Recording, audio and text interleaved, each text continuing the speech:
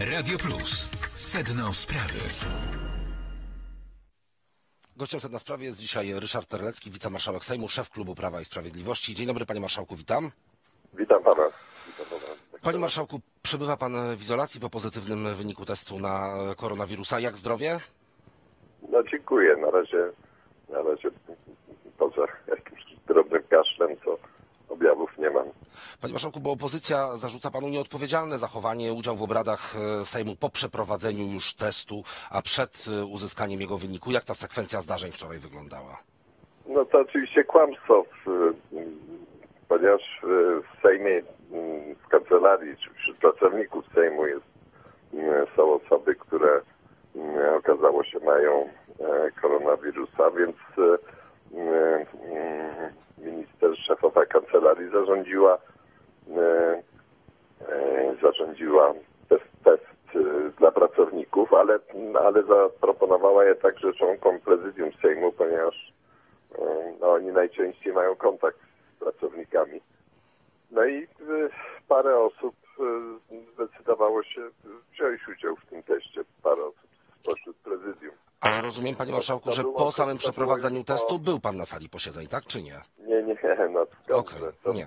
to było po, e, już po głosowaniach. Mm, Poszliśmy na ten test. To, to jest test taki, który szybko wykazuje mm, e, efekt. No i po rzeczywiście tam mm, 20 minutach czy pół godzinie okazało się, że, że mój test jest dodatni. No i jasne, że wtedy już na salę nie wróciłem, ani kontaktu z nikim e, nie miałem. Ale panie marszałku, to wczoraj wszyscy mogli zaobserwować, oglądający posiedzenie Sejmu, że no przed jeszcze testowaniem się w takim razie siedział pan marszałek obok prezesa No tak, Prawa i Sprawiedliwości. No więc chciałem zapytać, Tak. czy, czy pan prezes miał wczoraj robiony test, prezes Jarosław Kaczyński? No tego nie wiem, ale, ale przy, e, wie pan, sytuacja jest taka, że e, test powinien się wykonywać parę dni po kontakcie z osobą zakażoną, no bo inaczej może nic nie wykazać, więc prawdę mówiąc nie wiem, czy kto z osób, k- które jakoś by miały ze mną kontakt rano przed testem, e, która z tych osób poddała się testowi. Wiem, że dzisiaj e, w Sejmie mają być kolejne testy, tym razem już dla posłów. Mm, Dla posłów, ale to w, posłowie y, Prawa i Sprawiedliwości, czy, czy wszyscy mają być Nie, nie, no, testowani? Wszyscy dla tych posłowie, tak? Którzy zechcą się mm, sprawdzić. No to rozumiem, że, że prezes Jarosław Kaczyński po, po, po tym, jak wczoraj rozmawiał z panem marszałkiem, to pewnie też temu testowi będzie... Pewnie też, chociaż nie wiem, czy dzisiaj, bo to okres.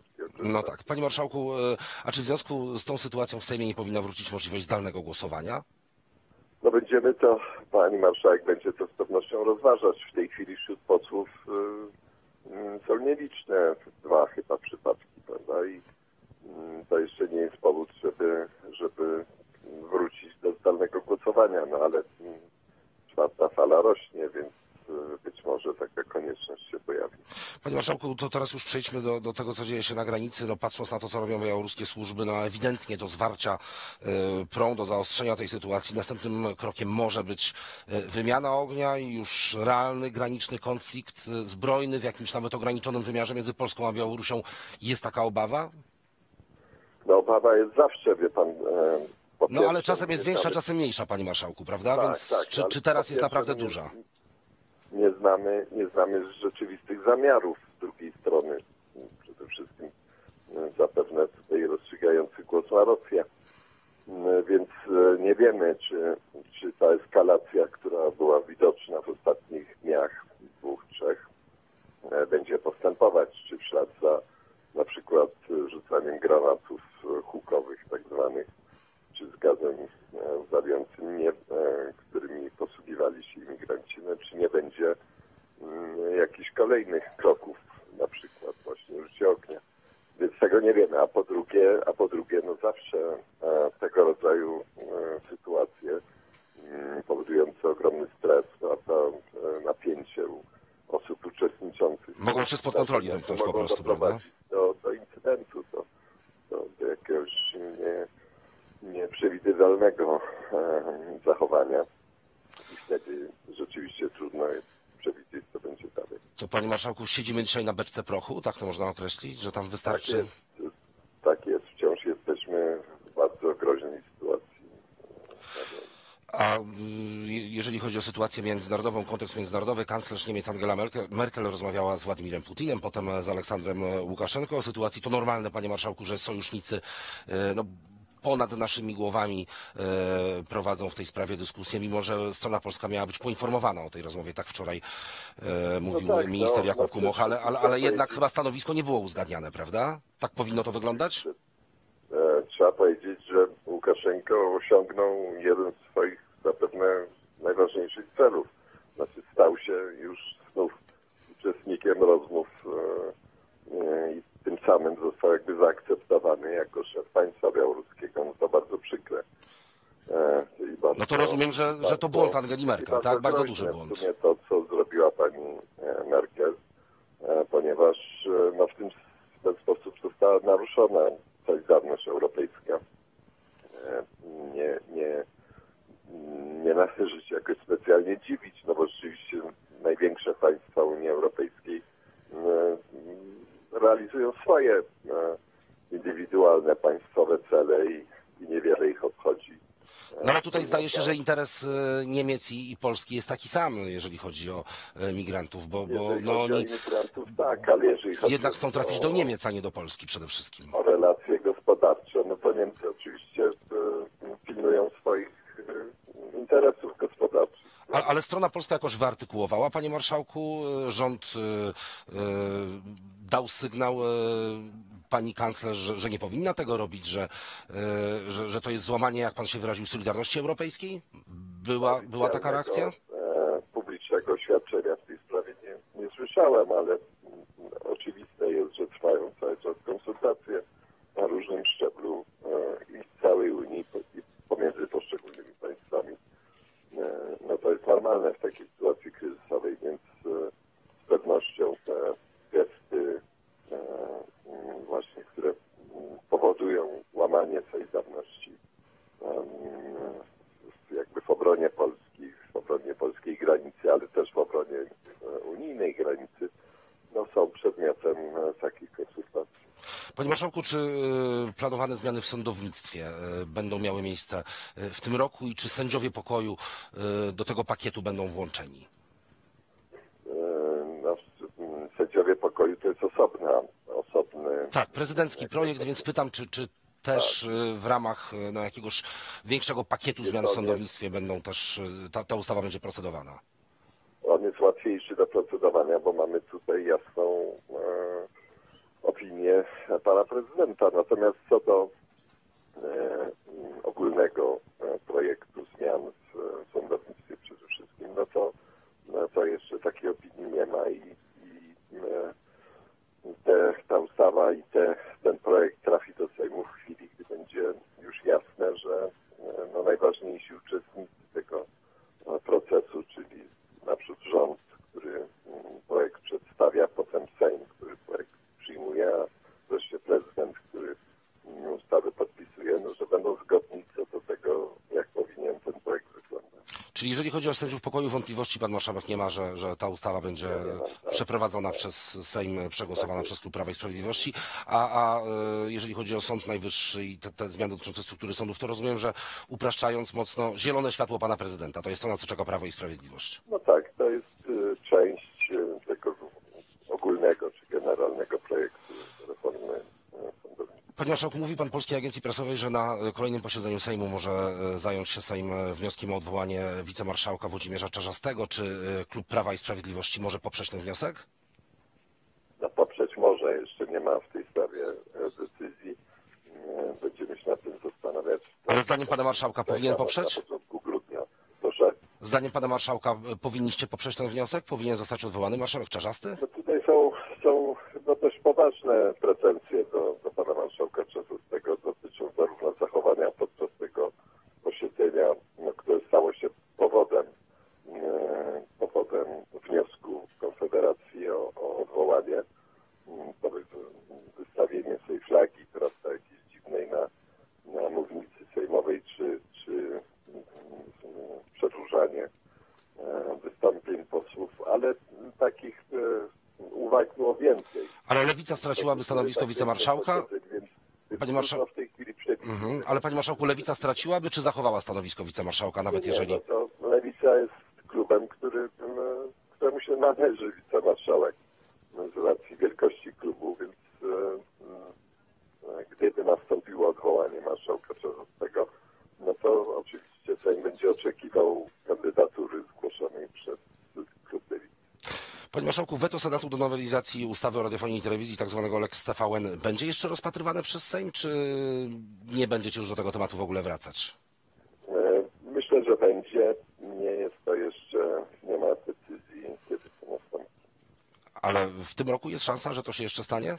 No, mamy dwa posiedzenia Sejmu przed sobą, więc, więc e, być może w czasie któregoś z tych dwóch posiedzeń.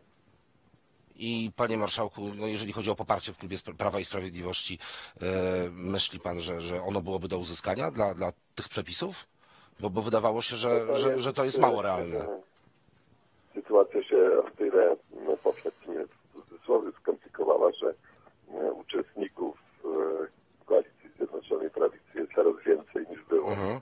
No i, i to wymaga, wymaga konsultacji e, pomiędzy poszczególnymi e, grupami. No, Ale w sprawie tego projektu trwają konsultacje? e, w tej chwili no, nie ma potrzeby, no bo na dzisiejszym posiedzeniu nie ma tego. Jasne.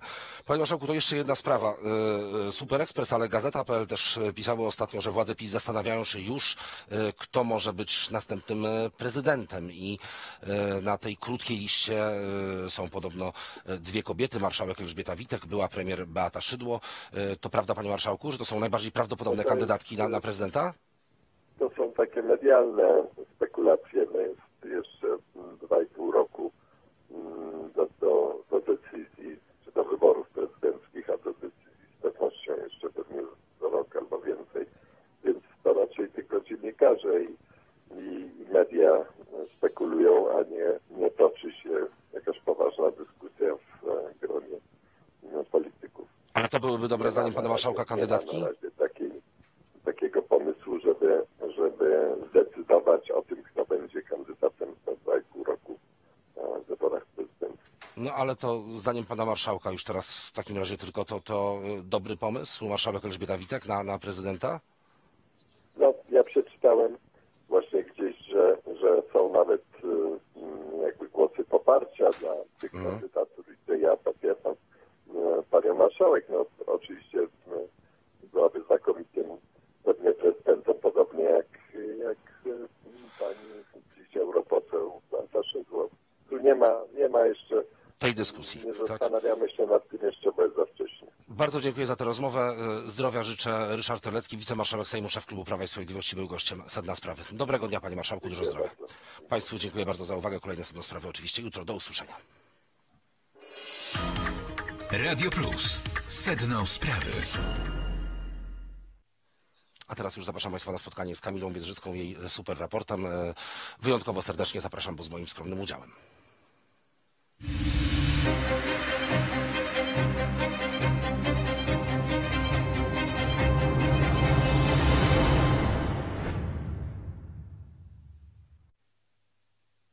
To prawda. Jacek Prosinowski za chwilę się pojawi w roli komentatora. Ja Państwa serdecznie witam. To jest program Super Raport Kamila Biedrzycka. Dzień dobry. Zapraszam na spotkanie dziś z Bogdanem Zdrojewskim, między innymi senatorem e, Platforma e, Obywatelska, senatorem Koalicji Obywatelskiej, Klubu Koalicji Obywatelskiej. Będziemy oczywiście w pierwszej kolejności komentować to, co wydarzyło się wczoraj przy ulicy Wiejskiej, późną nocą, bo właśnie wtedy debatowali posłowie nad e, jedną z najważniejszych ustaw, które przyszło im procedować w ostatnich latach, czyli ustawą, która ma uporządkować sytuację na polsko-białoruskiej granicy po ustaniu stanu wyjątkowego. No, trzeba przyznać, że dość smutny to był e, obrazek i ze względu na język, którym parlamentarzyści się posługiwali i ze względu na to, że nie było prezydenta Andrzeja Dudy, zwierzchnika sił zbrojnych. Gdyby ktoś z Państwa zapomniał, to e, przypominam po raz kolejny przy procedowaniu tak ważnego projektu zabrakło e, głowy państwa. Niestety nie wiemy dlaczego, dlatego że jego współpracownicy i urzędnicy Pałacu Prezydenckiego milczą w tej sprawie. Być może prezydent Duda zmęczył się uczestnictwem w meczu Polska-Węgry, no i nie był w stanie następnego dnia na 23 dotrzeć do Sejmu. Kto wie, no, czekamy na jakieś komentarze w tej sprawie. Niezbyt wielu posłów e, Prawa i Sprawiedliwości, także w ławach poselskich, więc z jednej strony mamy mm, takie przekonanie e, i tak takie mm, argumenty o tym, że sytuacja jest bardzo groźna, że e, padamy ofiarą wojny hybrydowej ze strony reżimu Aleksandra Łukaszenki, no ale z drugiej strony posłowie nie są w stanie dotrzeć na debatę w sprawie tej e, ustawy, więc taki dysonans poznawczy, delikatnie mówiąc, wyborcy mogą mieć. To jest jedna sprawa. Druga sprawa dotyczy e, tego, że e, ministrowie nie do końca odpowiedzieli na wszystkie pytania stawiane przez opozycję. Wcześniej podczas prac e, na Komisji Sejmowej odrzucono poprawki większości właśnie mm, pa- partii opozycyjnych i to też był kolejny punkt sporu już później na sali plenarnej, no ale oczywiście efekt jest taki i arytmetyka sejmowa jest taka, że projekt nowelizacji ustawy o ochronie granicy państwowej, bo dokładnie tak on brzmi w związku ze zgłoszonymi podczas drugiego czytania poprawkami, ponownie trafi do Sejmowej Komisji Administracji i Spraw Wewnętrznych. Tam będzie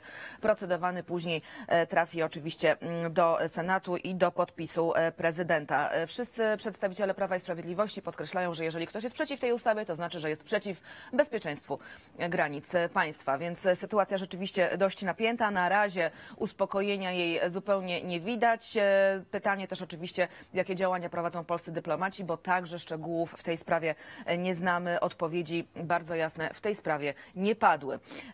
To jest jeden z elementów, o których dziś będziemy rozmawiać, ale oczywiście Pochylimy się także nad e, kwestią inflacji, bo o tym zapominać nie możemy, a właściwie pewnie nikt z Państwa nie zapomina, bo e, codziennie odczuwamy to w swoich kieszeniach i w swoich e, portfelach. Będziemy także rozmawiać na temat reformy, reformy Zbigniewa Ziobry, bo to chyba tak trzeba nazwać. Zbigniew Ziobro sam reformuje swoją reformę wymiaru sprawiedliwości. Mówiąc krótko, chce spłaszczyć sądy. Ma to być walka z biurokracją, przybliżenie sądów obywatelom to gdzieś już słyszałam, ja nie wiem, czy Państwo wiedzą, ale e, o kilka miesięcy tak średnio wydłużyło się oczekiwanie na wyroki w sprawach cywilnych między innymi, więc ja nie wiem, jak z tym przybliżaniem sądów e, obywatelom, no ale mm, takie są założenia tej e, nowej e, ustawy. Prawda jest taka, że dokładnie tych samych argumentów e, nie w przypadku reformy reformy, ale w przypadku tej pierwszej reformy Zbigniew Ziobro używał w roku 2016. No ale ja już się wyzłośliwiać nie będę, wyzłośliwiać być może będą się goście. Przypomnę, Bogdan Zdrojewski z Platformy Obywatelskiej, a po godzinie 9.30 dr Jacek Sokołowski, czyli politolog z Uniwersytetu Jagiellońskiego. Jeżeli ktoś już zdążył się z Państwa stęsknić za Jackiem Prusinowskim, to jest właśnie ten moment, kiedy zapraszam go do programu Super Raport. Dzień dobry ponownie. Y, Oglądałeś wczoraj tę debatę na temat y, ustawy y, o ochronach polskiej granicy? No, Czy spałeś słodko przy- już? Przyznam szczerze, że, że miałem wczoraj program do 22 i już Ach, no e, tak. pary zabrakło na to, żeby... Zabrakło pary. No jeszcze- więc w dużym skrócie opowiem Ci tak. E, Bardzo niewielu posłów e, w ławach Prawa i To Sprawiedliwości, tak. to widziałeś, i nieobecność prezydenta Andrzeja Dudy. Czy Ty rozumiesz tę permanentną w tej sytuacji nieobecność głowy państwa? E, No, obecność e, prezydenta, e, jeżeli chodzi o stan wyjątkowy, mogła faktycznie dziwić, bo, Mm. bo tam prezydent pełni konkretną rolę, decydującą wręcz przy wprowadzaniu, przedłużaniu stanu wyjątkowego, no ale tutaj mamy do czynienia z ustawą, więc prezydent w Sejmie i tak to od prezydenta będzie zależało, czy ta ustawa będzie obowiązywała. No, jeżeli parlament ją przyjmie, to trafi na biurko prezydenta i wtedy on będzie decydował, a No tak, tak, w trakcie procesu legislacyjnego ustawa- prezydent raczej się w Sejmie nie pojawia. i chyba się oboje zgodzimy co do tego, że ta ustawa przecież. ma służyć e, temu, żeby tak naprawdę wprowadzić dokładnie. No więc e, nie uważa, że to jest sytuacja, w której prezydent ma obowiązek być na sali plenarnej? Nie. Uważam, że prezydent no, Naprawdę? siłą rzeczy będzie musiał e, trafić do niego ta ustawa. No on nie wie jeszcze, jaki będzie miała kształt. Mogą jeszcze być poprawki. No może by wtedy, jak dostanie więcej, konkretny dokument, wtedy on będzie na podejmował wiejską. decyzję na etapie procesu legislacyjnego. To myślę, że nawet dla e, czystości jego samego przebiegu, to obecność prezydenta teraz, e, jeżeli to nie jest jego projekt, to, to absolutnie nie widzę powodu. A nawet uważam, przysłuchiwanie że, się tej żeby- sejmowej debacie, dowiadywanie się, jakie są wątpliwości, jakie są argumenty ze strony opozycji, żeby rzeczywiście później rozważyć za i przeciw nie byłoby e, no, w jakiś sposób e, pozytywne e, i dla prezydenta, i dla czystości legislacji. Mhm. Ale to I z drugiej ma czas strony, potem na to, prawda? Okej, ma, ma ale potem czas i oczywiście to, że może prezydent... zaprosić przedstawicieli opozycji. Mógłby to zrobić, powinien nawet zaprosić Czyli przedstawicieli RBN opozycji. uważasz, że powinien być Absolutnie, tak. Uważam, że RBN rzeczywistości e, e, Rada Bezpieczeństwa Narodowego nigdy nie zmieniła i tym razem by jakoś szczególnie nie zmieniła, no ale po to ten instrument jest w rękach prezydenta, żeby w takiej sytuacji z niego skorzystał. No nie widzę absolutnie powodu, dlaczego to się nie dzieje. No, No, no, No dobra, to ma- prowokacyjnie zapytam Cię jeszcze o jedną rzecz. E, Nie masz takiego e, poczucia dysonansu poznawczego w sytuacji, kiedy e, przez cały czas, od wielu tygodni jesteśmy bombardowani ze strony partii rządzącej informacjami, że jest totalny kryzys na granicy. Pamiętamy słowa z września już, kiedy mówiono, że to jest największe zagrożenie dla Polski od czasu rozpadu Związku Radzieckiego.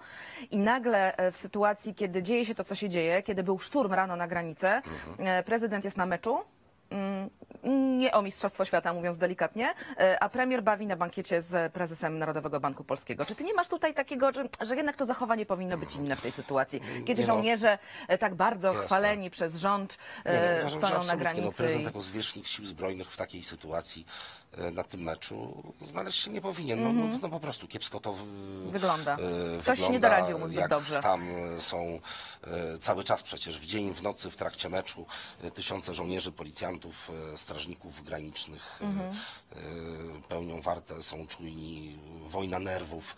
E, No, to myślę, że zwierzchnik sił zbrojnych szczególnie no, w takiej sytuacji, jak, jak ta sytuacja, jak, jak, jak e, stało się to dużo bardziej napięte i spektakularne, tak Mhm. e, w negatywnym znaczeniu tego słowa w ostatnich dniach, no to, to błąd pana prezydenta. No mógł sobie Mhm. ten mecz po prostu odpuścić. E, A, e, Bo też życie toczy się normalnie, prawda? To nie jest tak, że, Nie, no toczy, no że, że oczywiście, jest no to- wszystko w jakimś zawieszeniu, ale, ale no, tak wizerunkowo po prostu, to uważam, że no, yy, lepiej by, by, by zrobiło panu prezydentowi pojawienie się na granicy i yy, uściśnięcie dłoni yy, pełniącym tam służbę, niż oklaskiwanie Tak, to tak piłkarzy. samo jak klaskanie, oklaskiwać, kla, więcej. dokładnie, tak samo. Chociaż to uściśnięcie dłoni w sytuacji, w której zbiera się na e, niektórych portalach pieniądze na ciepłe posiłki dla żołnierzy, no to jest sytuacja dość e, też zabawna. Nie wiem, No, czy ale- słyszałeś ale o tym, no, że Są jakieś takie inicjatywy, w ale- Białym ale... Stoku e, mieszkańcy organizują Okej. się po to, żeby dawać posiłki ciepłe żołnierzom, bo nie jedli ciepłych rzeczy od trzech dni. Te- Też, też widziałem takie Czy informacje. ktoś może jeżeli- odebrać ten telefon tam? jeżeli, jeżeli nie jedzą e, żołnierze ciepłych posiłków, no to, to, to faktycznie no, nieprawdopodobne to się wydaje. No, akurat chyba taka infrastruktura wojskowa, yy, nawet na poligonie przecież to, to, to, to wszystko musi działać, no, żeby żołnierze mogli coś ciepłego zjeść. Są takie, nie wiem jak teraz wyglądają, ale, ale, ale kiedyś pamiętam takie e, wielkie wojskowe gary, nie wiem, z grochówką No czy, czy czymś. No więc wydaje mi się to, nie, nie nie wiem czy to są prawdziwe informacje, że faktycznie nic ciepłego nie jedli, ale, ale no, nie, nie, nie, nie są, podobają mi się y, jakieś y, przedstawiciele, zbiórki dla, na- dla na- żołnierzy. Teraz to państwo zdecydowanie y, Powinno. No, powinno sobie z tym poradzić, no, No bez właśnie. przesady. No, to nie To jeszcze, jakaś... to jeszcze jedna sprawa, która budzi daleko idące i kontrowersje, i emocje, czyli nasza dziennikarzy Mhm. obecność na, na terenie przygranicznym.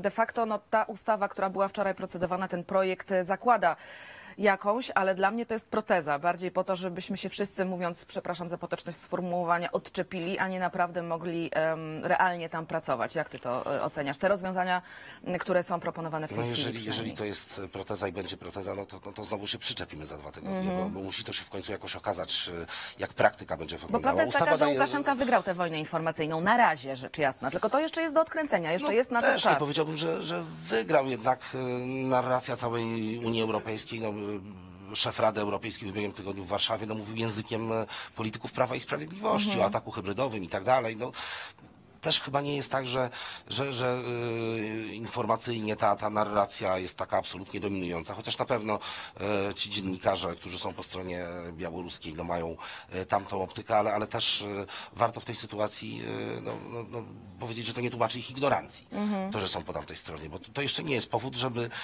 y, zakrzywiać mocno tę rzeczywistość, ale mam nadzieję, że bo to będzie wszystko zależało od komendanta Straży Granicznej. No właśnie, ale to są rzeczy mediów. zupełnie Że- e, że trudno no- weryfikowalne, no bo to będzie indywidualna decyzja, od której chyba nie ma odwołania. No nie ma w tej to, to, to tam kompletnie w ani ogóle słowa, pomieszanie tak. z poplątaniem, no.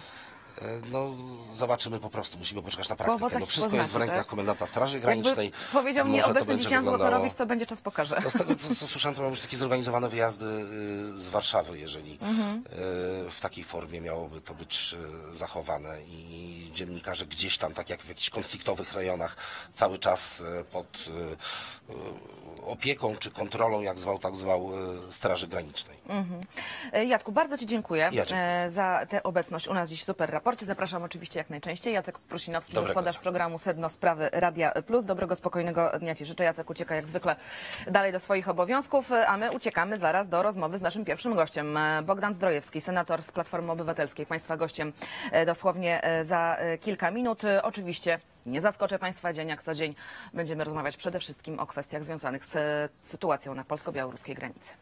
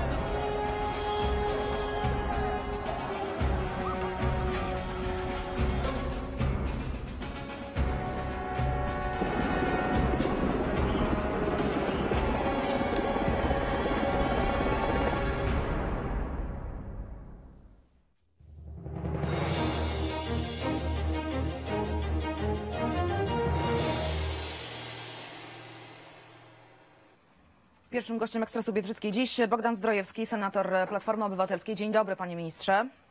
Dzień dobry pani, dzień dobry państwu. Miał pan e, siłę, żeby oglądać wczoraj debatę w sprawie e, ustawy o ochronie granic państwa? W znacznym stopniu tak, e, nie oglądałem do końca, natomiast obserwowałem przede wszystkim te najważniejsze wystąpienia w dniu wczorajszym, w nocy de facto. E, I co pan sobie pomyślał? Co pana najbardziej uderzyło? Uderzył pana najbardziej brak prezydenta, niewielu posłów w ławach sejmowych, czy może no właśnie wystąpienia ministrów, którzy przekonywali, że przyjęcie tego projektu nowelizacji ustawy o ochronie granicy państwowej, bo dokładnie tak to się nazywa, jest konieczne? Patrząc na postać prezydenta Andrzeja Dudy, mam takie przekonanie, że to jest postać e, tragikomiczna. E, Wydaje mi się, że Oj, chyba nie dowiemy się, co panu ministrowi się e, wydaje, bo połączenie niestety nam zerwało. Łączymy się po raz kolejny. Miejmy nadzieję, że pierwszy raz ani nie będziemy mieli taką rwaną tą rozmowę, bo wtedy to jest bardzo trudna sytuacja. Ja przypomnę państwu, że wczoraj e, w nocy e, Sejm zajmował się pilnym rządowym projektem nowelizacji o ochronie granicy i niektórych innych ustaw. Regulacja ta ma zapewnić skuteczność działań podejmowanych przez Straż Graniczną w celu ochrony granicy w przypadku zagrożenia bezpieczeństwa państwa lub porządku publicznego. Wiem, że mamy ponownie połączenie z panem senatorem Zdrojewskim, e, więc e, raz jeszcze, e, panie senatorze, powiedział pan, że prezydent Duda to postać tragikomiczna. Tak, ja generalnie rzecz biorąc nie wiem, czy wolałbym, żeby on jeździł na skuterze na nartach, niż zajmował się polityką, czy zajmował się polityką. Chyba na nartach jeździ lepiej niż zajmuje się polityką. Mm, Ja przyjmuję to z ze smutkiem oczywiście, dlatego że siła Polski de facto na granicy, granicy Polski i Białorusi, granicy Europy i Białorusi e, jest wtórna wobec e, naszej pozycji międzynarodowej, wobec naszej pozycji w NATO, w Unii Europejskiej, w rozmaitych instytucjach. Ja przypominam sobie działania jednego z ministrów obrony narodowej, który de facto rozwalił nasz wywiad, kontrwywiad, mm, po- potraktował e, tak, jak potraktował e, wieloletnich pracowników tych, tych służb. Podobnie mamy z dyplomacją. Mm, Pożegnano kilku, bardzo kilku, kilkudziesięciu znakomitych naszych dyplomatów. Ostatnio chyba pana Hinca. E, Wydaje mi się, że my robimy wszystko, aby być słabsi a potem prężymy muskuły na granicy po to, aby pokazać na użytek własny, jak bardzo jesteśmy patriotyczni, jak bardzo dbamy o tą naszą granicę. Ale to w ogóle nie o to chodzi. My powinniśmy być silni przede wszystkim naszym profesjonalnym uczestnictwem na arenie międzynarodowej. To tam rozwiązywane są takie konflikty, e, a nie na samej granicy. To już jest finał, to już jest ten moment e, końcowy de facto. Oczywiście Białorusi i Białorusi Putin korzystają z tego konfliktu, mają duże interesy, rozmaite interesy. Pamiętamy napięcia w Kale, pamiętamy napięcia wynikające z prób przekroczenia e, granicy tureckiej. To są rzeczy, które nierozwiązywane są wyłącznie metodami e, siłowymi. To są Mhm. rzeczy, które muszą być rozwiązywane narzędziami dyplomatycznymi. I politycznymi. Po to, aby i politycznymi. Po to, żebyśmy my byli skuteczni w tej materii, musimy być silni na arenie międzynarodowej, sprawni, jeżeli chodzi o biały wywiad, kontrwywiad, wywiad wojskowy, etc. My de facto stawiamy tych pograniczników w sytuacji absolutnie dramatycznej, e, każąc im wykonywać czynności, które są charakterystyczne dla końca XIX wieku. E, My musimy pamiętać, że nasza zdolność operacyjna, czy radzenia sobie z takimi sytuacjami, to jest bardzo złożony mechanizm, wymagający wielu rozmaitych narzędzi. E, Niestety my się ich de facto pozbyliśmy. E, To teraz e, jeszcze słów kilka właśnie na temat tego, co dzieje się na samej granicy, a właściwie wokół tego, bo wspomniał Pan, że przede wszystkim konieczne są narzędzia dyplomatyczne, narzędzia polityczne. Nie ma Pan wrażenia, że rząd Prawa i Sprawiedliwości bardzo dużo e, mówi o, su- o suwerenności? Ma mnóstwo frazesów z tą suwerennością w ustach związanych, a kiedy już przychodzi do realnego działania, no to w naszej sprawie tak naprawdę te wszystkie kwestie, czy z Władimirem Putinem, czy w sprawie wsparcia administracji amerykańskiej załatwia rząd niemiecki albo przedstawiciele wysocy Unii Europejskiej. No bo Angela Merkel rozmawia z Łukaszenką, Angela Merkel rozmawia z Putinem, Ursula, Ursula von der Leyen rozmawia z administracją amerykańską, z Joe Bidenem w tej sprawie. E, A my co? A my się przyglądamy e, i Jarosław Kaczyński dodaje, że nie będziemy pozwalać, żeby pewne sprawy były załatwiane ponad naszymi głowami. Mało tego, ma Pani rację, my się przyglądamy, jest jeszcze gorzej, bo jeszcze o to mamy pretensje. To znaczy tak, jakbyśmy byli w stanie rozwiązać ten problem sami.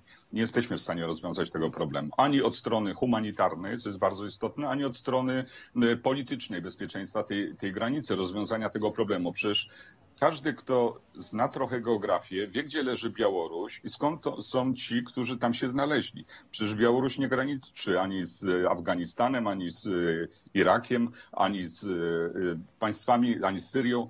E, Więc mamy do czynienia z bardzo przemyślaną akcją, akcją pewnego terroryzmu politycznego, na który trzeba reagować adekwatnie do e, tych narzędzi, które użyte zostały przez Putina wspólnie z Łukaszenką.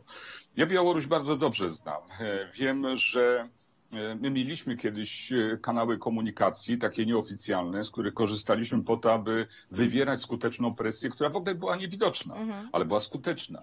Dziś my jesteśmy bohaterscy w słowie, werbalnie, ale kompletnie nieskuteczni. Jak jesteśmy nieskuteczni, to zaczynamy być też śmieszni. E, Ja dodam, że mi strasznie żal e, żołnierzy pograniczników. Wiem, w jak trudnej sytuacji są. E, Mam wrażenie, że też jestem w stanie zrozumieć wszystkie te rodziny, które mieszkają przy granicy, które się czują naprawdę zagrożone. Ale to im funduje nie tylko Łukaszenko, nie tylko Putin, oczywiście w pierwszej kolejności, ale także nieskuteczne aktywności polityczne, dyplomatyczne naszego rządu powodują, że te napięcie niestety e, na horyzoncie jest nierozwiązywalne. Dodam jeszcze jedną rzecz, która e, dla mnie jest taka bardzo istotna. Otóż e, i Putin, i Łukaszenko doskonale wie, e, o co ta gra się toczy. Chodzi o certyfikację Nord Stream 2. 2. Chodzi o ewentualne redukowanie rozmaitych sankcji na Białorusi. Putin walczy o to, żeby podwoić sobie tą granicę z Polską z 300 iluś tam kilometrów do 650, czyli anektować de facto militarnie, co się w pewnym sensie i tak dzieje, e, Białoruś. E, Ukraina na to patrzy z wielkim niepokojem. My musimy mieć bardzo dobry kontakt w tej chwili z Ukrainą, bo trzeba pamiętać, że to jest także walka o e, kontrakty dostaw gazu z Rosji do, do Ukrainy. Tam nie ma specjalnej alternatywy. My musimy dbać o suwerenność Ukrainy, tak jak o, o własną, bo to jest też element naszego bezpieczeństwa na tą długą Panie ministrze, to przepraszam, wejdę w słowo, zapraszam, zap, zapytam o ten gaz. Czy pana zdaniem ten szantaż, którego już w tej chwili gazowy próbuje używać Aleksandr Łukaszenka jest tylko takim straszakiem, czy rzeczywiście realnie coś nam grozi i tego gazu może zabraknąć e, zimą? My na szczęście mamy sytuację pewnej dywersyfikacji. Zadawaliśmy o to e, wcześniej. Mamy też element tego bezpieczeństwa wynikający z faktu przynależności do Unii Europejskiej. Mówię w tej chwili tu o gospodarce, a nie tylko o polityce.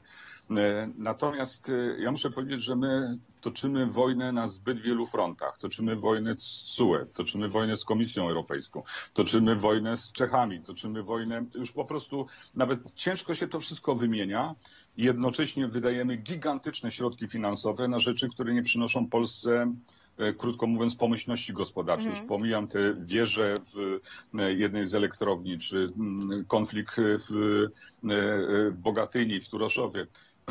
My, my jesteśmy w tej chwili zdawani coraz bardziej na łaskę i niełaskę, e, taką zewnętrzną. Dodam, że przez cztery lata de facto rząd zablokował e, budowę elektrowni wiatrowych. No to jest alternatywa dla ewentualnego e, gazu, ale też innych elementów budujących nasze bezpieczeństwo energetyczne.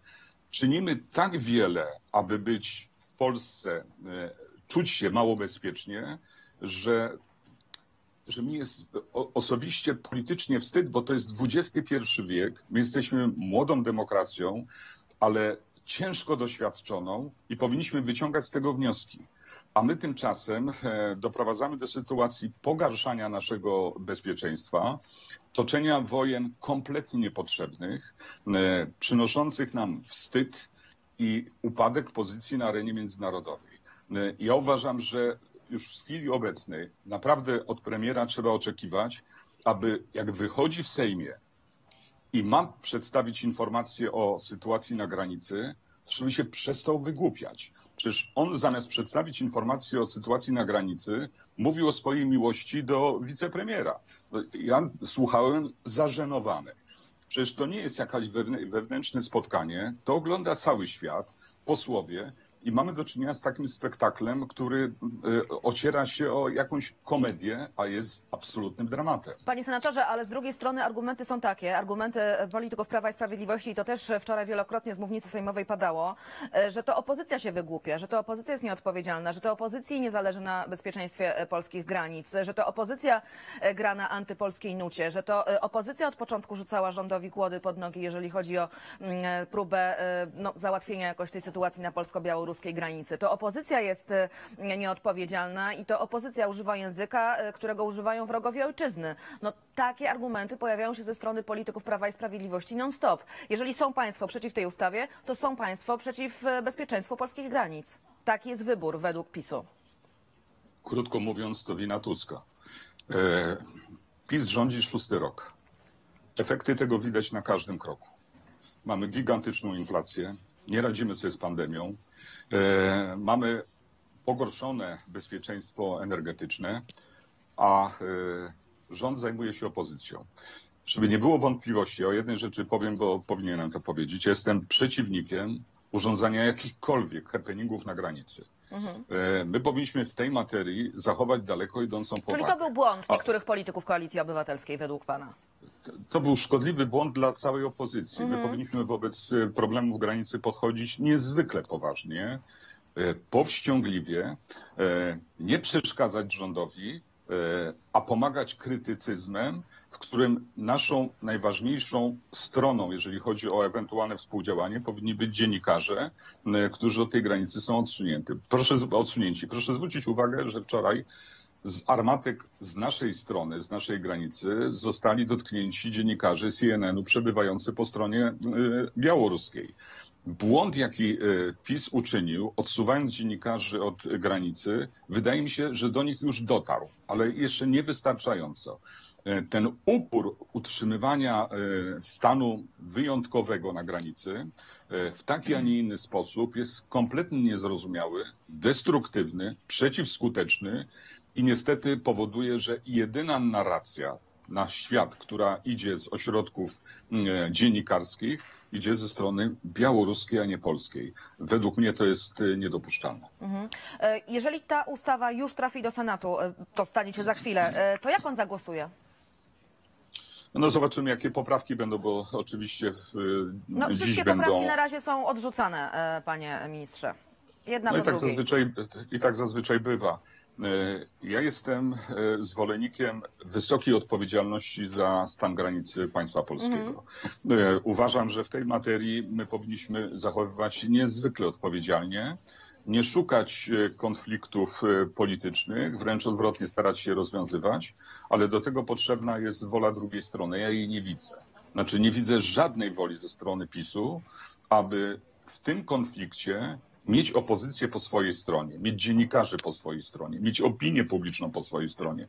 Wydaje mi się, że mamy do czynienia z grą na użytek taki wewnętrzny, słupków sondażowych, a to prędzej czy później obróci się także przeciwko rządowi.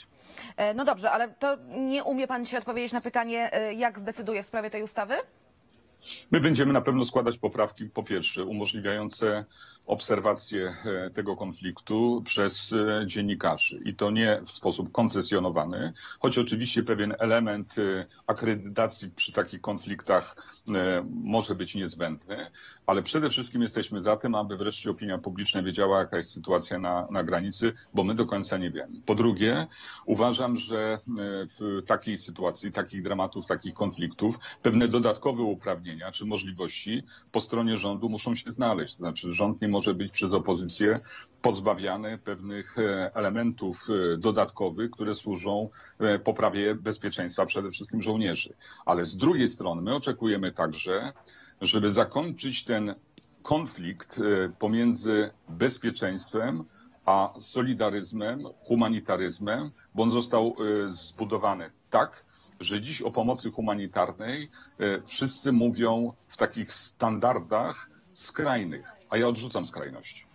No dobrze, to teraz jeszcze jedna sprawa właśnie dotycząca dziennikarzy. Rozumiem, że ten projekt Pana zdaniem e, nie jest wystarczający. To znaczy ta e, koncesjonowana obecność dziennikarzy, jak Pan to nazwał, i te osobiste tak naprawdę decyzje mm, dowódców Straży Granicznej, e, to nie jest e, coś, co moglibyśmy nazwać e, wolnością e, mediów e, właśnie w przekazywaniu informacji z e, tego konfliktu, no bo tak to już chyba trzeba nazwać.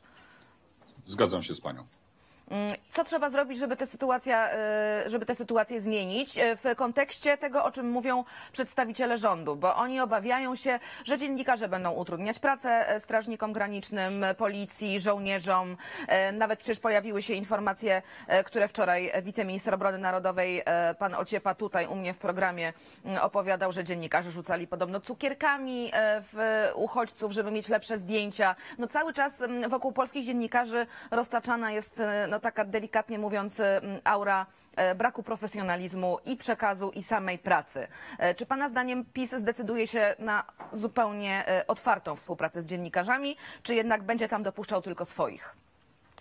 Rząd przede wszystkim co pięć minut mówi co innego. Bo najpierw mówił o tym, że e, nie dopuszcza dziennikarzy do granicy, bo martwi się o ich zdrowie, o życie, o ich bezpieczeństwo, krótko mówiąc. Potem, że e, obawia się śmieszności. E, Teraz kolejny minister mówi, że no niestety chcą koncesjonować, dlatego że informacja jest w chwili obecnej elementem ewentualnego bezpieczeństwa. Bezpieczeństwa także żołnierzy czy pograniczników. E, Ja nie wierzę rządowi. To znaczy, jeżeli on co rusz mówi co innego, nie jest, nie jest konsekwentny w swoich argumentach, to znaczy kłamie, albo oszukuje, albo jedno i drugie. E, Natomiast ja jestem zwolennikiem oczywiście obecności dziennikarzy na granicy, obecności, która mm, byłaby obecnością rozmaitych e, nurtów dziennikarskich. Mówię przede wszystkim o dziennikach, stacjach telewizyjnych, etc. Jeżeli po stronie białoruskiej możemy mieć e, dzisiaj i BBC, i CNN, to dlaczego nie może być po stronie polskiej? Przecież tam jest bardziej niebezpiecznie. Mm, Tam te rygory są kompletnie nieeuropejskie, nieświatowe, niecywilizowane, a, a jednak da się pracować. Więc ja jestem zwolennikiem, aby mm, rzeczywiście dziennikarze mogli się pojawić na granicy. Ich obowiązują z oczywistych powodów e, określone zasady postępowania, e, etyka dziennikarska.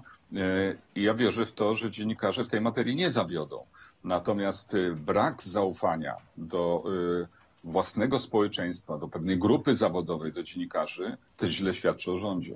A to, że dopiero wczoraj zostały pierwsze odszkodowania wypłacone przedsiębiorcom z rejonu e, pogranicznego, to jest em, upadek jakiś tych obietnic rządu, czy właśnie być może ich realizacja? No bo przypomnijmy, że e, obietnice o wypłacie odszkodowań padły na początku września. Dzisiaj mamy połowę listopada. Ja bym nie w- unosił tego problemu do rangi jakiejś najważniejszej. To znaczy musimy pamiętać o No, gradacji. z perspektywy, E, panie ministrze, tych przedsiębiorców, to oni nie mają z czego żyć, więc to jest bardzo ważny problem. Tak, ja oczywiście e, jestem zwolennikiem, aby to wszystko przebiegało sprawnie, szybko. Mieliśmy do czynienia w czasie rządu e, PO-PSL e, także kilka katastrof, gdzie te reakcje były natychmiastowe. Potem staraliśmy się e, uzupełniać ewentualne braki w jakichś dokumentacjach. Natomiast generalnie rzecz biorąc jestem za sprawnością, tylko ja widzę, jaki mamy rząd. No nie, nie wierzę w to, że oni podejmą decyzję we wrześniu i w październiku będzie pomoc. To, że jest w listopadzie, to i tak cud. Mhm. E, Panie ministrze, to teraz skoro o pieniądzach mówimy i trochę o granicy, to ja jeszcze chciałam pana zapytać o jedną rzecz. E, Między innymi o e, komunikat Narodowego Banku Polskiego w obronie niezależności Polskiego Banku Centralnego. Tam znalazł się taki akapit brzmiący w ten sposób. Zapomina się jednak o tym, że w czasach zawirowań, ataków czy wojny, to pracownicy Banku Centralnego należą do najodważniejszych urzędników walczących o przetrwanie państwowości i niepodległość. Mm, ja właściwie nie wiem, y, ja po prostu poproszę pana o komentarz. co tu komentować? No, po prostu ja jestem bezradny. To znaczy, wydaje mi się, że jak słucham od czasu do czasu pierwszego prezesa Narodowego Banku Polskiego, e, to albo łapię się za głowę, albo po prostu wyłączam. No, nie da się tego słuchać. Z różnych powodów. Ja pomijam te nietrafione e, prognozy dotyczące inflacji. Ten dodruk gigantyczny przecież e, pieniędzy, nie w ramach wymiany zużytych banknotów, tylko po to, żeby e, rynek uzupełnić. Te, te rozmaite akcje propagandowe. Teraz próba wydania banknotu w obronie polskiej granicy. Szef Narodowego Banku Polskiego powinien się zajmować przede wszystkim e, siłą naszej waluty, złotówki. I to powinno być jego zadanie od rana do nocy.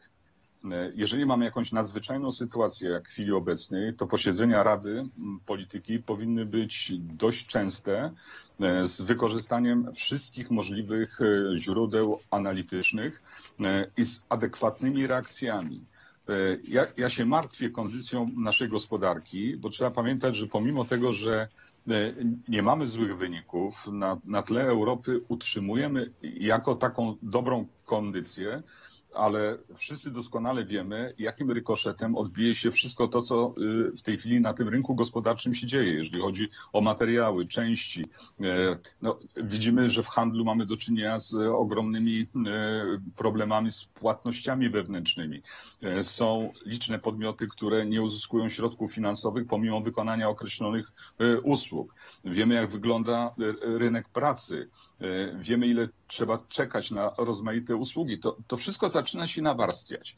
I Narodowy Bank Polski e, z prezesem na czele, zamiast dbać o tą silną złotówkę, o to, aby te nasze zobowiązania zewnętrzne też nie drożały, e, to się zajmuje za przeproszeniem jakimiś kompletnymi duperelami o charakterze propagandowym. I to pokazuje, że to państwo posiada tak wiele słabych punktów, z których korzysta też e, no, Białoruś. Bo powiem na koniec być może jedną rzecz najważniejszą. Dla takiego konfliktu, jaki mamy w chwili obecnej na granicy, szuka się w Unii Europejskiej najsłabszego ogniwa. E, Dziś Polska jest tym słabym ogniwem. I to musi martwić wszystkich, także prezesa banku. E, Panie ministrze, to jeszcze chciałam pana e, zapytać e, w innym temacie na sam koniec, w temacie reformy, reformy Zbigniewa Ziobry, reformy, reformy wymiaru sprawiedliwości, walka z biurokracją, przybliżenie sądów obywatelom. Dokładnie takie argumenty za tą reformą reformy padają. Dokładnie w sprawie reformy w 2016 padały identyczne. Zgodnie z zapowiedziami ministra sprawiedliwości ma zniknąć obecna struktura sądów, ma ona zostać, mówiąc potocznie, spłaszczona.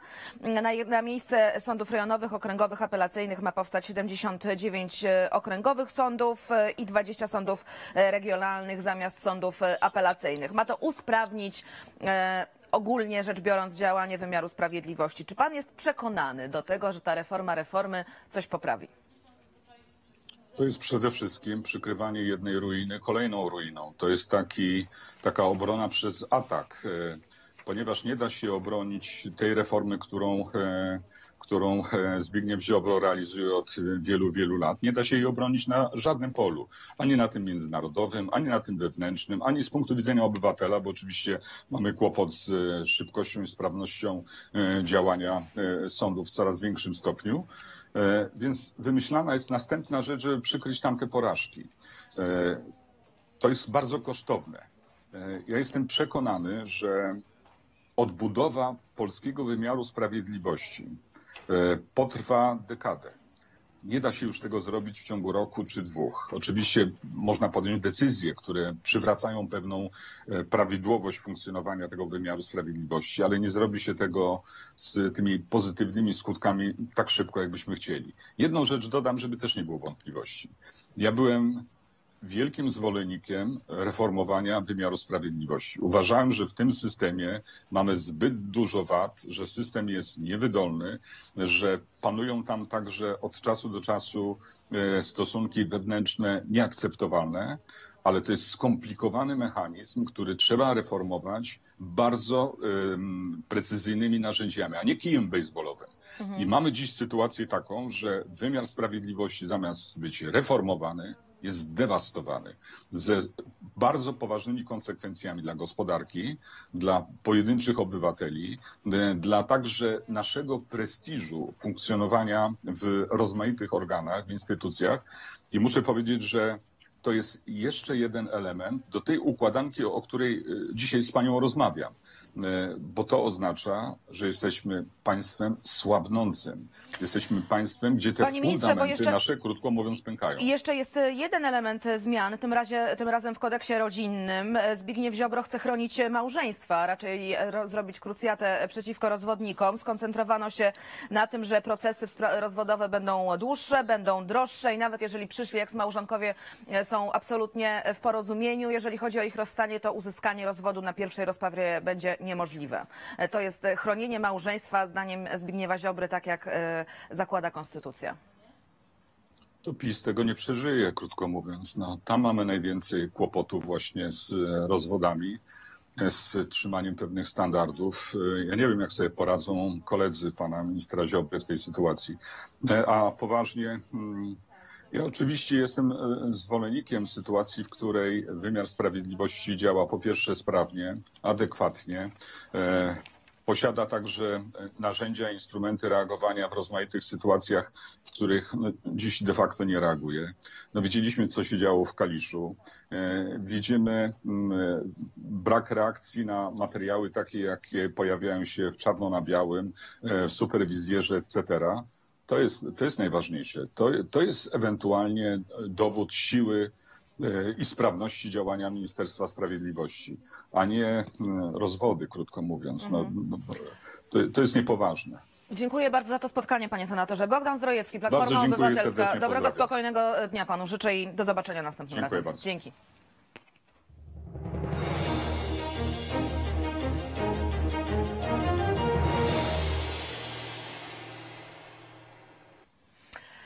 Każdy kraj w Unii Europejskiej realizuje swoje interesy, ale razem jesteśmy silniejsi. Dziennikarze na granicy powinni już być. To nie są słowa przedstawicieli opozycji, to są słowa wiceministra obrony narodowej, które padły wczoraj u nas w programie. Za chwilę między innymi do nich właśnie odniesiemy się z panem doktorem Jackiem Sokołowskim. Cała sytuacja międzynarodowa raczej e, pokazuje te kolejno odwoływane loty, kolejne państwa, które chcą swoich obywateli ewakuować z powrotem, że e, nie będzie miał tej amunicji, żywej amunicji Łukaszenka do tego, żeby dalej szantażować Europę.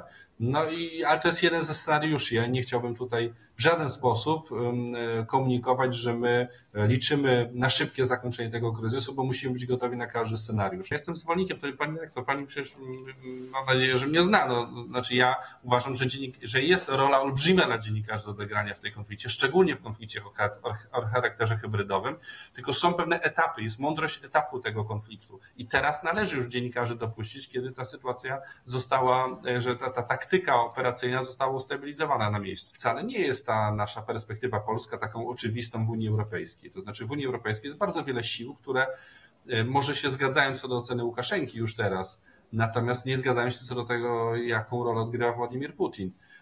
Więc to nie jest takie proste, żebyśmy w Unii Europejskiej mieli konsensus w tym zakresie. Bycie w Unii Europejskiej, bycie, takie poczucie bycia współgospodarzem i bycie proeuropejskim w żaden sposób nie wyklucza tego, że w Unii Europejskiej jest mnóstwo napięć, ponieważ jest to także arena zderzania się interesów narodowych. I rzecz w tym, żebyśmy przestali się w Polsce po prostu dziwić, że Niemcy czy Francuzi realizują swoje interesy narodowe i że polski rząd także chce te, te, interesy narodowe realizować. Rzecz w tym, żebyśmy na końcu jednak znajdowali wspólne rozwiązanie, bo razem jesteśmy silniejsi i to rozumiemy.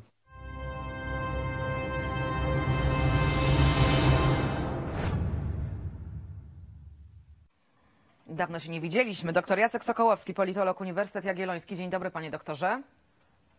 Dzień dobry pani redaktor, dzień dobry państwu. Jak pan- Nie widzieliśmy się, bo mnie pani nie, za- nie zapraszała. Oj, no dobrze, ale to y, stę- zdążyliśmy stęsknić się za, tobą, za sobą, więc tym bardziej mam nadzieję nasza rozmowa będzie ciekawa, ale już tak zupełnie serio, panie doktorze. Słyszał pan przed chwilą wiceministra obrony, e, ministra Ociepę, który mówi, że dziennikarze e, w tym konflikcie na polsko-białoruskiej granicy mają do odegrania ogromną rolę. Takie słowa padły. E, mówił pan minister o tym, że dziennikarze powinni zostać dopuszczeni do pracy mm, na granicy właśnie, ale ja miałam wrażenie, słuchając tej debaty w Sejmie i e, mając jakąś wiedzę na temat e, tego projektu, że no chyba nie ma takiego przekonania w PiSie, że e, dziennikarze powinni w sposób swobodny i wolny mogli wykonywać swój zawód, e, no właśnie w rejonie tego konfliktu. Jak pan sądzi?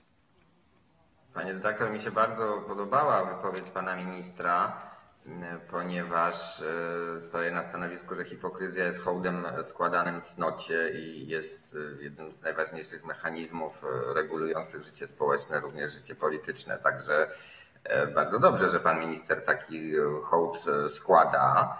Mm, Realnie to myślę, że PiS ma ogromny problem z dziennikarzami na granicy. Nie chciał ich dopuszczać e, i szczerze mówiąc, widzę pewne racje obozu rządzącego. E, Sytuacja medialna obozu rządzącego wygląda tak, że w sytuacji niesłychanej e, polaryzacji i, niesłychanego upolitycznienia mediów dwóch stron sporu politycznego w Polsce, do której to polaryzacji do którego to upolitycznienia mediów PiS oczywiście w ogromnym stopniu rękę przyłożył, ale nie tylko PiS. W sytuacji takiej polaryzacji i e, takiej stronniczości mediów, jaką mamy w Polsce, nie dziwię się, że PiS bał się, e, że media na granicy, wpuszczone na zasadach, nazwijmy to uczciwych, równych, wolnych, e, będą oznaczać, że konflikt będzie relacjonowany w sposób skrajnie nieprzychylny dla polityki PiSu, a to będzie częścią destabilizacji, która, jak sądzę, była przez Łukaszenkę i przez Putina planowana, która była w ten konflikt wpisana. E, Także e, muszę tu powiedzieć, że dostrzegam pewne racje po stronie e, obozu rządzącego, co nie znaczy, że mi się podoba, że tak ta sytuacja wygląda. Ja bym też chciał, żebyśmy mieli transparentny rząd i e, rzeczywiście niezależne i bezstronne media, które mogłyby ten konflikt e, relacjonować. Mam poważne obawy, że e, nie mamy ani transparentnego, uczciwie grającego rządu, ani uczciwych, e, niezależnych e, mediów, które No, teraz, mogłyby ten panie doktorze, powinnam się na pana śmiertelnie obrazić. No proszę się obrazić, pani redaktor. Y, To jest przykre, co ja mówię. Coraz rzadziej też bywam w mediach. Nie, nie bez Ale ja powodu. myślę, myślę panie doktorze, że myślę panie doktorze, że ta, pana, że ta pana ocena wobec wielu dziennikarzy jest e, bardzo krzywdząca jednak e, mimo wszystko. Ja Wobec, uważam, że... wobec, wielu, wobec, wielu, y, wobec wielu poszczególnych indywidualnych dziennikarzy na pewno tak. Dlatego ja się staram zrobić zastrzeżenie, że nie używam tutaj takiego kwantyfikatora całkowitego, że wszyscy zawsze. Natomiast prawda jest taka, że przestrzeń dla niezależnego i bezstronnego dziennikarstwa niesłychanie się w Polsce skurczyła y, oraz, że mediacje, y, narracje medialne są bardzo poważnym elementem konfliktu No hybrydowego. dobrze, panie doktorze, no ale w E, sytuacji polaryzacji e, tej sceny dziennikarskiej także, jeżeli już, e, no no ja się będę nadal sprzeciwiać, ale okej, no idźmy tym e, pana tropem, no to lepiej w ogóle nie mieć wolnych mediów, w ogóle ich nie dopuszczać do pracy w takiej sytuacji, ponieważ są spolaryzowane, no przecież się kupy nie trzyma. A tu przecho- przechodzimy, pani redaktor, do trochę szerszego kontekstu, który warto by było poruszyć. E, Że my w tym konflikcie e, w ogóle nie mamy dobrych opcji. Ani my jako kraj, ani e, obóz rządzący. I jakby tutaj ten problem, który się zarysował w naszej rozmowie dotyczący tego, czy wpuszczać media, czy nie wpuszczać, jak je wpuszczać, E, Proszę zwrócić uwagę, że ja, ja, ja nie bronię stanowiska rządu, natomiast ja pokazuję, że ono w jakiś sposób y, jest dla mnie zrozumiałe, przy też całej świadomości, że rząd ponosi współodpowiedzialność za to, że sytuacja na rynku medialnym jest taka, a nie inna. E, Natomiast patrząc troszeczkę bardziej globalnie na ten konflikt, to my jesteśmy w sytuacji fatalnej, bo ten konflikt z założenia myśmy już przegrali. E, Dlatego, że w tym konflikcie nie jest istotą jego to, czy y, grupa migrantów mniejsza czy większa przejdzie, czy nie przejdzie. Istotą tego konfliktu jest, czy Białoruś zostanie całkowicie podporządkowana Rosji e, i czy Europa Zachodnia to zaakceptuje e, pod groźbą szantażu gazowego i czy ostatecznie otworzy Nord Stream 2.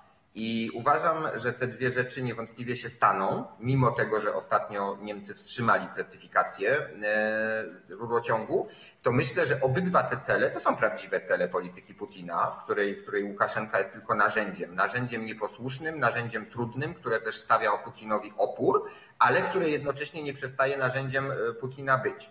E, I myślę, że obydwa te cele Putin zrealizuje i z tego punktu widzenia, jeżeli tak potraktować ten konflikt, to ten konflikt już jest przegrany. I to, co zostało rządowi, e, to tak naprawdę minimalizowanie strat w tym konflikcie, e, a ma, jakby decydując się na jakiś dobór narzędzi do minimalizowania strat, ja bym chciał wskazać, że rząd jest niesłychanie ograniczony w tym doborze środków, które ma do dyspozycji, bo oczywiście nasz rząd tego nie przyzna i wielu z nas chciałoby wyprzeć tę niewygodną prawdę. My jesteśmy państwem bardzo słabym, a słabe państwo ma po prostu ograniczoną ilość środków, których może użyć w sytuacji kryzysowej. E, My w tej sytuacji kryzysowej, ja rozumiem oburzenie, które, które budził sposób rozgrywania tej sytuacji przez rząd i też jakby zdaję sobie sprawę, że rząd częściowo wykorzystywał tę sytuację do podbicia sobie słupków popularności, żeby sytuacja zagrożenia sprawia, że ludzie opowiadają się po stronie rządzących, jeżeli rządzący robią coś, co sprawia wrażenie, że minimalizują to zagrożenie. Natomiast moim zdaniem tak naprawdę też rząd nie za bardzo miał jakiś wielki wybór, jeżeli chodzi o środki, których mógł użyć, dlatego że nie jesteśmy państwem, które dysponuje takim potencjałem, takimi zasobami jak na przykład Niemcy, żeby spróbować tutaj zorganizować choćby i korytarze humanitarne, którymi można by tych No dobrze, e, panie doktorze, wejdę w słowo w tej chwili, dlatego że pan mówi o tym, że nie mieliśmy jakichś tam środków, żeby tę sprawę rozegrać, ale gdybyśmy na przykład e, nie konfliktowali się tak bardzo z instytucjami e, Unii Europejskiej, gdybyśmy w czambu i do końca na ślepo nie popierali Donalda Trumpa, dzięki czemu mielibyśmy lepsze relacje z Ameryką, to czy ta, teraz ta sytuacja nie wyglądałaby inaczej? Czy tutaj jednak Pana zdaniem e, nie zawiodły te e, kanały dyplomatyczne? E, No bo wiadomo, że w jedności w tej sytuacji jest siła, no i w tej chwili być może wyglądałoby to zupełnie inaczej. A może też to jest... Tak. Nie sądzę. Proszę zwrócić uwagę, że Europa i NATO raczej udzieliły nam poparcia w tej sytuacji. No niektórzy nawet twierdzą, że niektórzy nawet twierdzą, że toczone są rozmowy zamiast polskich dyplomatów, że toczy je Angela Merkel i Ursula von der Leyen. Okej, ale pani co, to jest, to jest konsekwencja tej słabości państwa, o której Mhm. mówiłem, że my nie jesteśmy w stanie żadnych rozmów Tak. samodzielnie z Putinem i Łukaszenką toczyć, bo oni nas po prostu nie będą słuchać, nie mamy na nich żadnych lewarów. Te lewary mają Niemcy, mają Stany Zjednoczone i dlatego oni będą z nimi rozmawiać. To, że my się tutaj, czy my się tu mamy prawo ob- obrazić, zrzymać na to, czy to mogło być rozegrane delikatnie, to jest inna sprawa. Natomiast jeżeli chodzi o relacje z elitami unijnymi, to myślę, że my od początku byliśmy w kleszczach i to, czy mielibyśmy lepsze relacje ze światem, powiedzmy, dyplomacji europejskiej, unijnej, e, ze światem umownie nazwijmy go brukselskim, ja bym ogólnie wolał, żebyśmy mieli lepsze relacje i uważam, że o wiele rzeczy skonfliktowaliśmy się z Unią zupełnie niepotrzebnie. Jak pani wie, jestem, jestem przeciwnikiem e, bardzo konsekwentnym e, działań ministra Ziobry i, i e, nie widzę z nich żadnego zysku dla Polski, widzę same straty.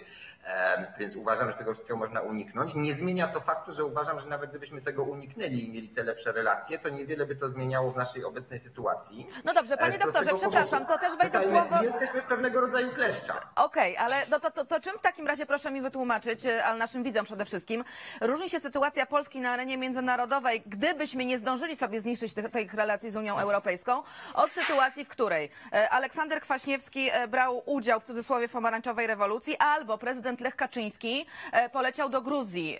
Pamiętamy to bardzo doskonale. Znaczy, oczywiście tam Francja grała pierwsze skrzypce, ale jednak obecność Lecha Kaczyńskiego była niezwykle ważna. Wtedy też w to wszystko była uwikłana Rosja i wtedy jednak no, jakoś te konflikty udało się mm, rozwikłać. To czym się różni tamta sytuacja, tamta sytuacja od tej? W sensie Na dyplomatycznym. tym, y, Na przykład tym się różni, że wtedy Rosja nie, nie trzymała e, e, Europy za, za gardło e, poprzez, poprzez brak paliwa, którym Europa mogłaby się ogrzać w zimie, a teraz trzyma. Całym, Rosja była dużo, dużo słabsza wtedy i Europa nie była w takiej sytuacji, jak jest teraz. Natomiast ja bym chciał wrócić do tych kleszczy, o których powiedziałem. Proszę zwrócić uwagę, jeżeli chodzi o relacje tutaj Europy z Polską w tym, w tym konflikcie. My biorąc na siebie ciężar siłowego powstrzymania y, migrantów, którzy zostali sprowadzeni celowo i właśnie po to, żeby zdestabilizować sytuację w Polsce i szerzej w Unii, e, my odwalamy brudną robotę za Unię. Gdybyśmy tych migrantów zaczęli puszczać, niezależnie od tego, że wywołałoby to destabilizację sytuacji w Polsce większą, to mogłoby to doprowadzić do zamknięcia granicy Schengen przez Niemców, że tak powiem, może by wygenerowało większy jakiś nacisk ze strony Niemców na Rosję, tego nie wiemy, ale spowodowałoby jednocześnie, że Niemcy tak naprawdę mieliby do nas pretensje, że my tego nie robimy. To, to by paradoksalnie pogorszyło nasze stosunki z Niemcami jeszcze bardziej.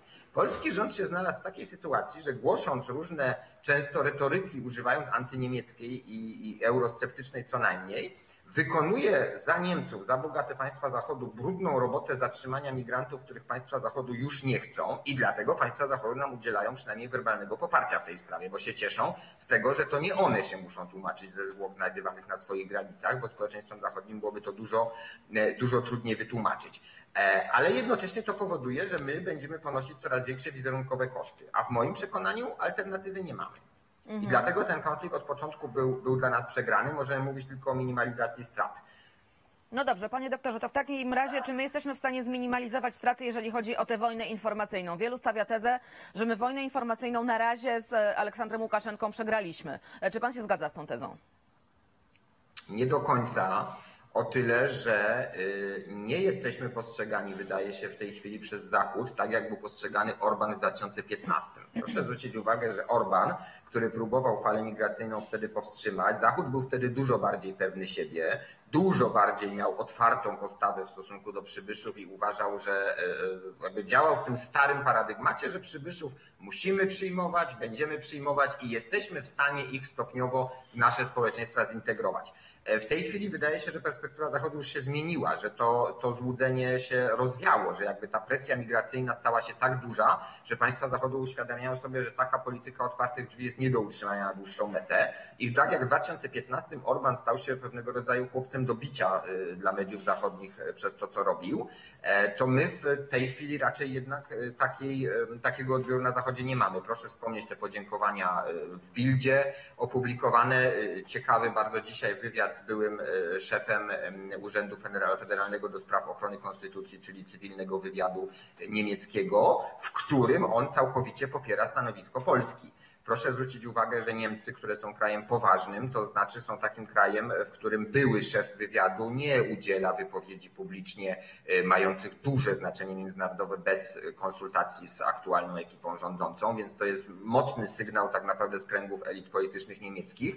Popieramy to, co robicie. I myślę, że e, tutaj na pewno mogliśmy wiele rzeczy rozegrać lepiej, nie przeczę. Mhm. Natomiast jeżeli chodzi o te politykę, jeżeli przyjąć, że naszym celem była jakaś minimalizacja strat, to w jakiś sposób próbujemy y, tym kryzysem zarządzać tak, żeby tych, tych strat było jednak mniej, a nie więcej. Co nie zmienia faktu, że w ogólnym wymiarze jakby jest to klęska naszej polityki wschodniej i jest to dramatyczna zmiana naszej sytuacji na gorsze, bo sądzę, że w ten czy inny sposób Rosja aneksji Białorusi dokona, to znaczy, że rosyjskie wojska na Białorusi się znajdą.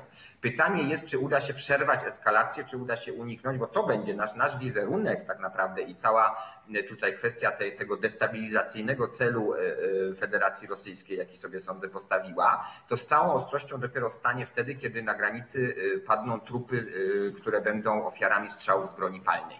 A to się wydaje krok, nie wiem czy nieuchronny, miejmy nadzieję, że nie nieuchronny, ale to się wydaje logicznie następny krok na tej, na tej drabinie eskalacyjnej. To jest pytanie, czy Polska pracuje, w jakiś sposób pracuje nad tym, żeby takiej sytuacji uniknąć, albo żeby, jeżeli do takiej sytuacji dojdzie, to żeby dało się to przedstawić w ten sposób, że to nie jest e, wina nieludzkich oprawców polskich służb z kraju, który prawda, łamie prawo unijne, nie przestrzega praw człowieka. I tutaj się zgadzam z panią, że oczywiście gdybyśmy mieli lepszy PR w kwestii przestrzegania prawa unijnego, to by nam tę sytuację ułatwiło. Natomiast to jest, to jest modalność, że tak powiem, o znaczeniu dużo niższym niż te zasadnicze modalności, które przedstawiłem wcześniej. No, nasza sytuacja jest, jest fatalna i to się nie zmieni. Możemy walczyć o to, żeby była trochę mniej fatalna. E, Panie doktorze, to jeszcze chciałam zapytać pana o mm, obecność, a raczej nieobecność prezydenta Andrzeja Dudy w całej tej sytuacji, w całym tym konflikcie.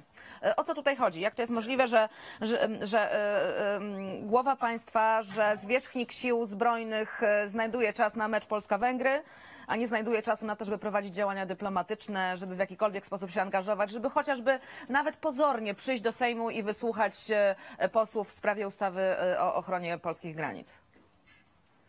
Panie redaktor, no ja się już przyzwyczaiłem, pani nie?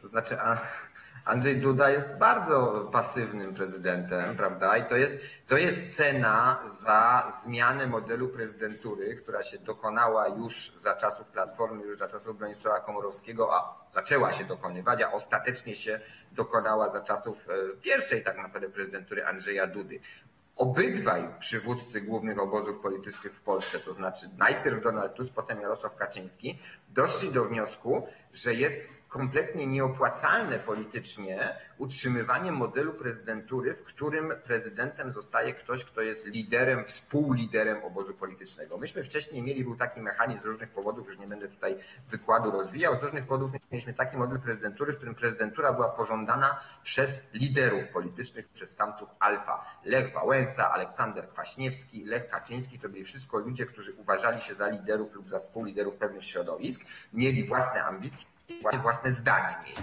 Natomiast Donald Tusk wyraźnie powiedział e, jeszcze przed śmiercią Lecha Kaczyńskiego w Smoleńsku, jak zaczynała się dopiero kampania prezydencka, ogłosił, że nie będzie kandydował w tym słynnym wywiadzie. Tak. Powiedział, że on O nie zamierza być strażnikiem Mhm. Żyrandola. Zdeprecjonował tę prezydenturę i wskazano na tę prezydenturę człowieka, który własnych żadnych dużych ambicji politycznych nie miał. Bronisław Komorowski nie był liderem, nie był tym samcem alfa i miał spolegliwą, przyjazną rządom Platformy prezydenturę. I ten model, Jarosław Kaczyński uznał, że ten model jest doskonały, e, pozwala skomasować realną władzę w rękach prezesa partii. Do tego obydwaj panowie dążyli. Taka była ewolucja polskiego modelu władzy.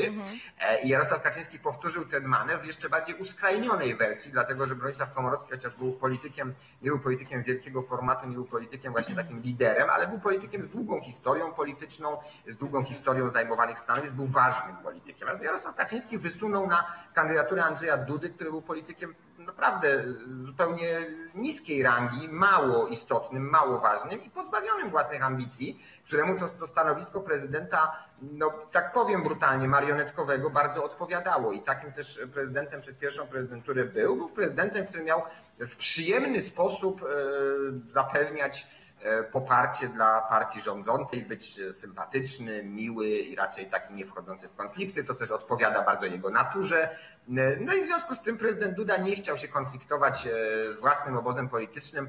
Rzeczywiście kilka razy próbował i zupełnie mu to nie wyszło. Weto do ustaw sądowych, które do dzisiaj jest mu wypominane przez Zbigniewa Ziobrę jako rzekomy ruch, który zrujnował wspaniałą reformę sądownictwa, ale przecież to weto nic nie dało. Ustawy zostały, nie doprowadziło do realnych negocjacji między prezydentem a obozem rządzącym. Jarosław Kaczyński zmusił Andrzeja Dudę do zaakceptowania kolejnej wersji reformy sądownictwa w kształcie niemalże Panie doktorze, identycznym jak ten, jak ten pierwszy, który Andrzej Duda zawetował. Ja rozumiem- Więc mamy Mhm. prezydenta, który jest bardzo pasywny, chce być miłym chłopcem. Ale którego właśnie o to chodzi, o to chciałam zapytać. Czy to rzeczywiście jest tak, że e, Andrzej Duda po prostu nie ma ambicji, chce być miłym chłopcem i zastanawia się tylko nad tym, czy w Szczyrku spadł już śnieg, e, czy po prostu jest hamowany przez Jarosława Kaczyńskiego i po prostu nie pozwala mu się e, pewnych działań wykonywać i pewnych inicjatyw w jakiś sposób organizować. Pana zdaniem jak to jest?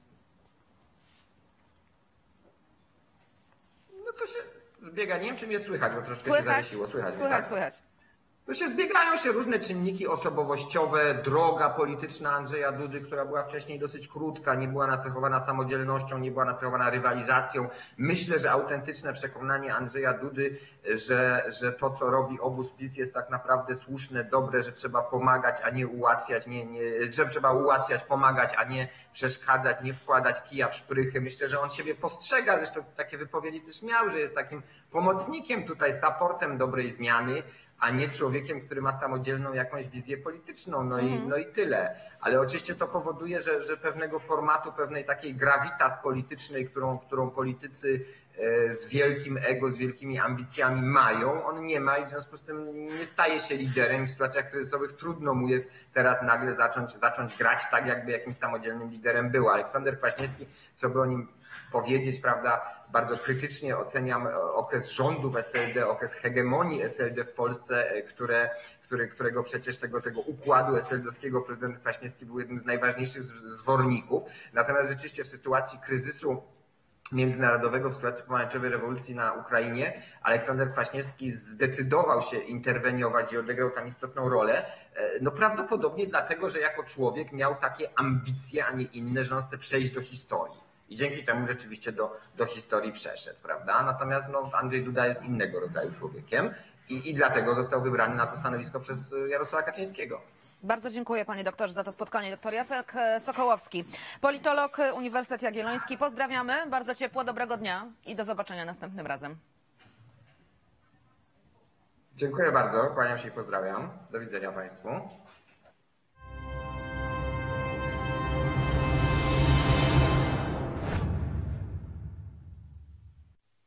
I to wszystko w dzisiejszym super raporcie. Bardzo Państwu dziękujemy za wspólnie spędzony czas. Oczywiście zapraszamy na jutro. Jutro czwa, czwartek? Pszczółek, co jutro jest? Czwartek. Pszczółek, dobrze. Już zakrzywiłam się czasoprzestrzeń.